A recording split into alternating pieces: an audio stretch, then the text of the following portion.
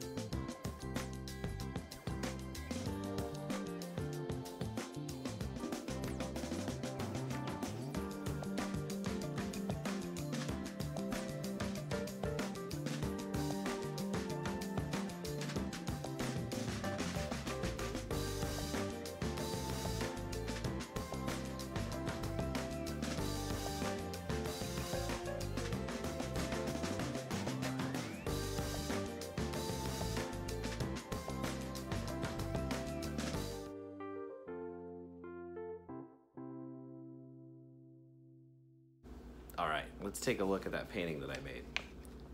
Can you figure out the clues to solve the puzzle? I see a hand, I see a turtle, I see a radish, I see an apple. Looks like a type of worm. I'll give you a hint, it's an earthworm.